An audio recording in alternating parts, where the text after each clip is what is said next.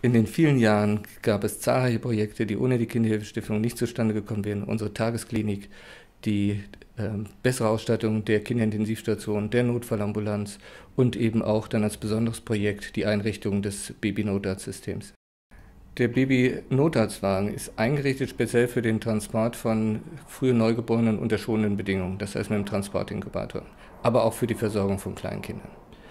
In den vielen Jahren der Zusammenarbeit haben wir einige Projekte realisieren können, die sonst nicht möglich wären, wie die Tagesklinik, ähm, Kinderspielplatz und eben auch eine bessere Ausstattung der Kinderintensivstation bei uns. Ein Riesendank an die Kinderhilfestiftung für die tolle Zusammenarbeit über diese ganzen Jahre. Dankeschön.